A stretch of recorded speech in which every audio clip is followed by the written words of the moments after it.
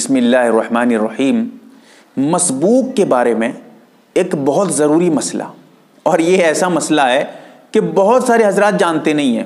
اور آپ کو تو پتہ ہے، میں بتاتا بھی ایسا ہی مسئلہ ہوں جو عام طور پہ لوگ غلطی کر جاتے ہیں تاکہ ان کی اصلاح ہو سکے۔ چینل کا مقصد ہی یہی ہے، اصلاح کرنا، صحیح باتوں کا علم ہونا، آپ کو بتانا۔ تو مسبوق مسبوق اسے کہتے ہیں کہ جس کی کچھ رکعتیں چھوٹ گئی ہوں، ایک رکعت، دو رکعت، چار رکعت، تین رکعت، کچھ رکعتیں چھوٹ گئی ہوں۔ نماز میں تو شریک ہو گیا ہو امام کے ساتھ، لیکن کچھ رکعتیں اس کی باقی رہ گئی ہوں۔ اس کو کہتے ہیں مسبوق۔ تو مسبوق جس کی رکعت چھوٹ گئی ہے، اگر وہ امام صاحب کے ساتھ سلام پھیر دیتا ہے، بھول کر، جان بوجھ کر سلام پھیرا ہے تو نماز ہی فاسد ہو گئی۔ اگر بھول کر امام کے سلام کے ساتھ سلام پھیر دیتا ہے کیونکہ اس کو تو سلام نہیں پھیرنا تھا، امام کے سلام پھیرنے کے بعد کھڑا ہونا تھا اپنی نماز مکمل کرنے کے لیے۔ لیکن اگر وہ سلام پھیر دیتا ہے بھول سے امام کے ساتھ، تو اب کیا مسئلہ ہے؟ بہت حضرات، کم حضرات اس مسئلے کو جانتے ہیں۔ بہت کم حضرات۔ اب مسئلہ یہ ہے، اگر امام سے پہلے سلام پھیر دیا تھا یا امام کے بالکل ساتھ ساتھ، تو اب اس کے لیے سجدہ سو کرنا ضروری نہیں ہے۔ لیکن اگر امام صاحب کے سلام کے ایک سیکنڈ کے بعد بھی اگر یہ سلام پھر آئے، امام صاحب سلام پھر رہے ہیں اور یہ سلام پھر رہا ہے، ساتھ ساتھ پھر رہا ہے، لیکن ایک سیکنڈ پیچھے ہے۔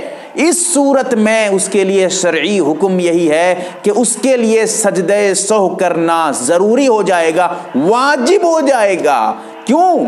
اور اکثر علامہ شامی رحمۃ اللہ علیہ نے یہ مسئلہ جو میں آپ کو بتا رہا ہوں، آپ فتح شامی میں جلد نمبر دو، صفحہ نمبر پانچ سو چھیالیس پہ اور البحر الرائق میں جلد نمبر ایک، صفحہ نمبر چھ سو باسٹھ پہ فتح ترخانی میں جلد نمبر تین، صفحہ نمبر چار سو چھبیس کھول کر دیکھیے گا، یہ مسائل ملیں گے آپ کو۔ تو اس بارے میں علامہ شامی رحمۃ اللہ علیہ نے یہ اعلان کر دیا، یہ صاف لکھ دیا ہے کتابوں میں۔ اکثر حضرات جو سلام پھیرتے ہیں عام طور پہ، اور ہوتا بھی یہی ہے۔ آپ دیکھیے، عام طور پہ ہوتا بھی یہی ہے، اور اسی کا حکم بھی شریعت میں ہے کہ امام کے سلام کے ذرا بعد سلام پھیرو، ایک سیکنڈ، دو سیکنڈ، پانچ سیکنڈ پیچھے رہو سلام کے۔ امام سے آگے مت بڑھو۔ تو اسی لیے عام طور پہ ہوتا بھی یہی ہے کہ امام کے سلام کے بعد ہی جو ہے مقتدی سلام پھیرتا ہے۔